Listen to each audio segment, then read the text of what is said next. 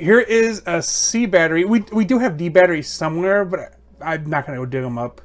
But um, minus on top, plus on bottom. Just move this piece here. And you basically, there is no spring or nothing. There's nothing holding it. You got to hold it yourself. And as you see, this battery is also good. Uh, this is actually a new battery, but it's been sitting for about a year. So probably why the charge isn't like the absolute best. So here is a double A. And again, contact on top, contact on bottom.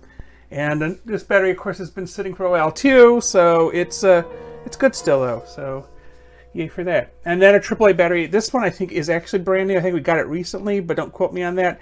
Again, make contact with the contact. Uh, and then, you know,